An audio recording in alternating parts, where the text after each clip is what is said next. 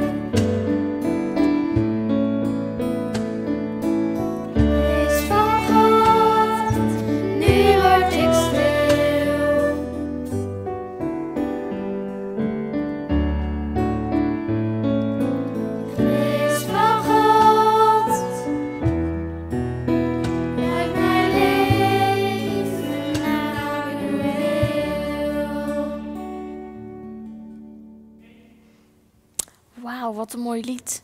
Dat was echt weer leuk samen zingen. Ja, en eh, nu gaan we naar jou luisteren, Rick. Ja, Dus, ik ben eh, er weer, want ik ben samen met de juf bij het Bijbelverhaal. Nou, heel veel succes, Rick. Gaan jullie ook kijken? Hallo kinderen, hier zijn we weer. Rick en ik. Hoi Rick. Hoi. Hoe is het met jou? Ja, gaat goed. Mooi zo. Ook? Ja, met mij gaat het gelukkig ook goed. Want weet je wel dat het feest is? Mm, even denken. Het is feest vandaag. Eh, ja, ik zie hier wel een slinger liggen en een cadeau. Ja, want het is Pinksterfeest. Oké, ja, daar heb ik al eens van gehoord. Ja, weet je het, hè? Ja, maar het is altijd wel een beetje een moeilijk feest. Ja, daar heb je wel gelijk in. Het is soms best wel een beetje moeilijk om uit te leggen. Maar daarom gaan we daar nu ook eens echt over nadenken. En dan gaan we proberen uit te leggen wat het Pinksterfeest betekent. Nou, oké, eh, laat me horen dan. Ja, maar dan wil ik je wel eerst even een slinger om je nek doen, want bij een feest hoort toch een slinger. Oké, doe maar. Kijk, dan kunnen we hem zo om je hals doen, misschien nog een keer zelfs. Nou, zie je er feestelijk uit zo? Ja, oké. Zien jullie mij, kinderen? Zien jullie Rick? Zwaai maar even. Hallo, ha, het is Pinksterfeest, yes. Nou, eh, laat me horen. Oké. Ik zal het proberen uit te leggen. Jullie zien ook wel het cadeau hier op tafel staan. Zie je het ook, Rick? Ja, dat ken ik al. Ja, we hebben het al eens meer verpakt, hè? Je weet al wat erin zit, zeker? Ja, natuurlijk. Wat dan? Ja, dat is toch de Bijbel? Ja, dat is toch de Bijbel. Kijk maar. Gaat de deksel eraf. En in die doos zit de Bijbel. Het cadeau van God. En in de Bijbel staat het verhaal van het Pinksterfeest. Zal ik daar een klein stukje van voorlezen? Hoor je me, Rick? Ja, ik hoor je wel. En toen de dag van het Pinksterfeest vervuld werd, waren zij allen eensgezind bijeen. Weet je wie dat waren? Hmm, ja, ik denk de discipelen. Juist, dat waren de discipelen. Die waren allemaal bij elkaar in een huis. En plotseling kwam er uit de hemel een geluid als van een geweldige windvlaag. En dat vervulde het hele huis waar zij zaten. En aan hen werden tongen als van vuur gezien, die zich verdeelden en het zat op een ieder van hen.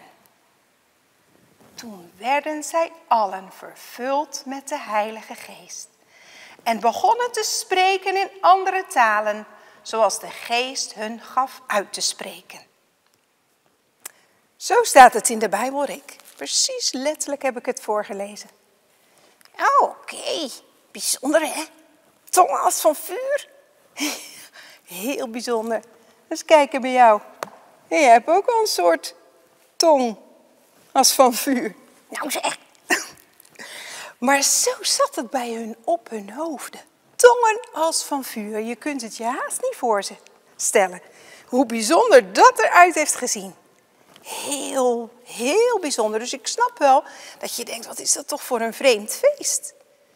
Maar het is wel een feest waar je eigenlijk heel erg blij van moet worden. Ja, nou, ik ben wel blij. Kijk maar, ik heb toch ook een slinger aan. Precies, je hebt ook een slinger om. Het is een feest waardoor Jezus overal kan zijn. Want toen in de tijd van de Bijbel, toen Jezus er echt was, toen was hij alleen op die plaats, bijvoorbeeld in Jeruzalem of alleen in Nazareth.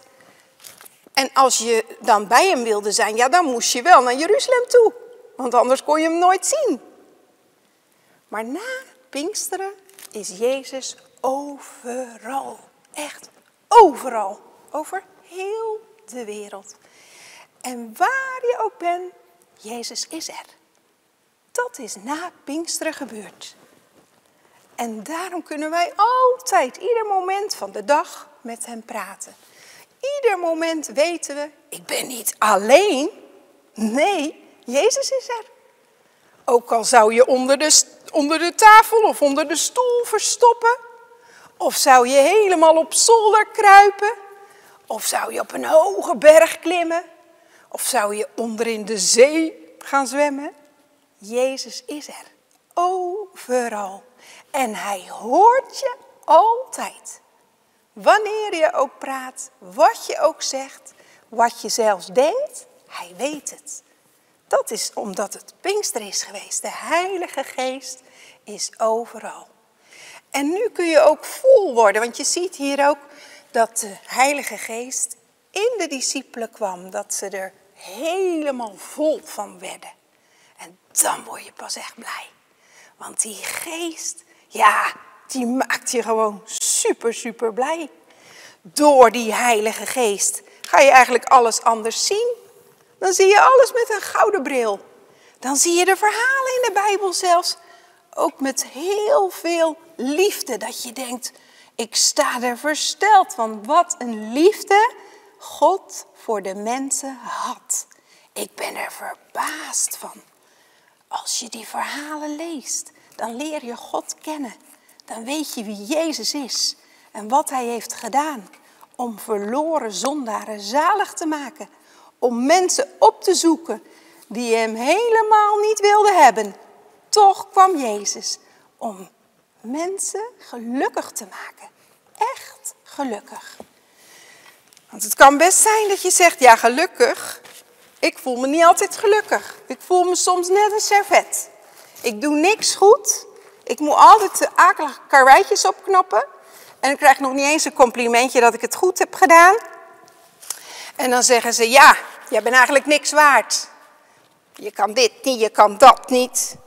Helemaal geen gouden bril. Alleen maar een servet waarvan je denkt, gooi maar weg. Maar dat wil Jezus niet. Jezus ziet jou niet als een vieze servet, waardeloos. Nee, voor Jezus ben je van grote waarde.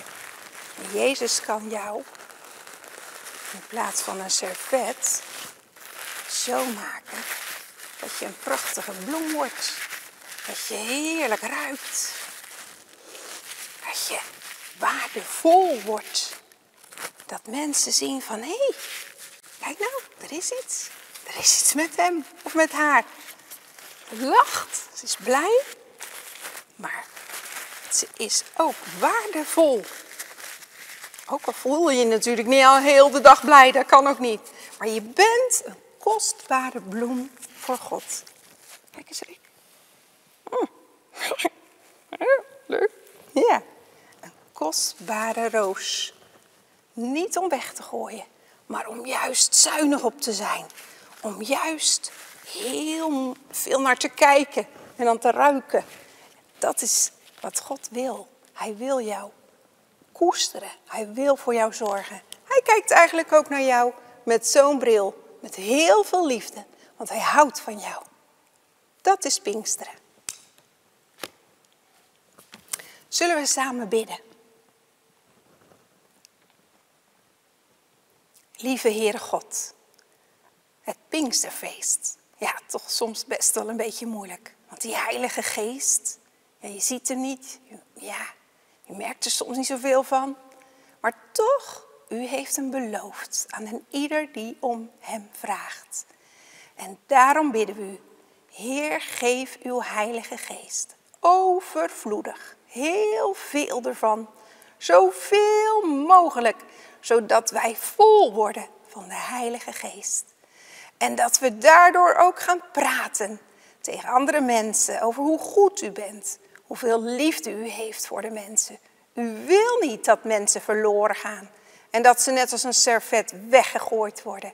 Want iedereen is waardevol, klein of groot, oud of jong. Het maakt niet uit waar je woont. Heer, u houdt van mensen. En door het Pinksterfeest bent u overal. En dan mogen we ook zeker weten dat u ons altijd hoort als wij tot u praten. Als wij aan u denken, wat we ook doen. U ziet ons, u hoort ons, u kent ons helemaal. En daar danken wij u voor. Want wat een geweldige God bent u toch. Dank u wel voor al uw liefde. En laat ons bloeien als een bloem, iedere dag opnieuw. Zodat we voor andere mensen ook echt iets mogen betekenen. Dat ze aan ons zien dat wij vol zijn van de Heilige Geest. Geef ons die geest, iedere dag opnieuw. Dat bidden wij u. Niet omdat wij dat verdienen, maar alleen uit genade, om Jezus wil. Amen. Wauw, echt een mooi Bijbelverhaal. En eh, jij hebt het ook heel goed gedaan, Rick. Dank je, dank En je. eh, de kinderen thuis, die hebben ook heel goed geluisterd. Echt heel goed. En eh, wat gaan we nu doen, Rick? Zingen, nog een keer, hè? Ja. ja. We gaan nu zingen, we zullen opstaan. Dus sta lekker op en doe mee. Thank you.